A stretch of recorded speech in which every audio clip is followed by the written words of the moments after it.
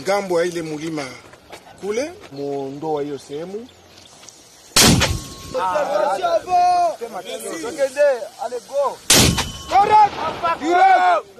4 heures du matin, de Nyamubingwa, dans les hauteurs de la chefferie des Baoundé, groupement Mufuni Shanga.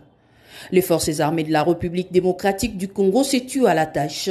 Ils poursuivent la coalition M23 AFC RDF qui y a élu domicile.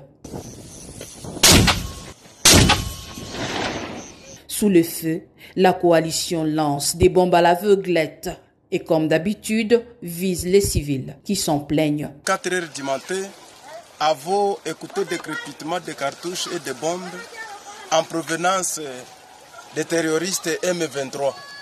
Il y a une bombe qui est venue et tombée entre la population.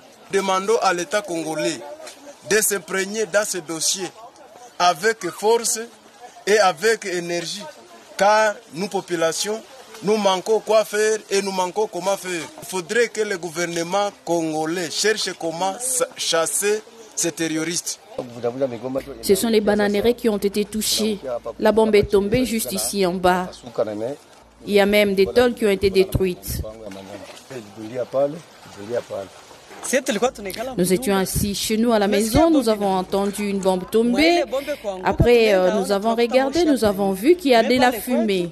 Mais chez nous à la maison, il y a des éclats qui sont tombés, qui ont failli nous tuer. Mais Dieu merci, nous sommes en vie. Sans relâche, aux côtés des volontaires pour la défense de la patrie, VDP en sigle, les FARDC récupèrent des collines, notamment Mema, Bitonga, Kaniro, Kasake, comme le renseigne le colonel Jike Kaiko, porte-parole de l'armée au Nord Kivu.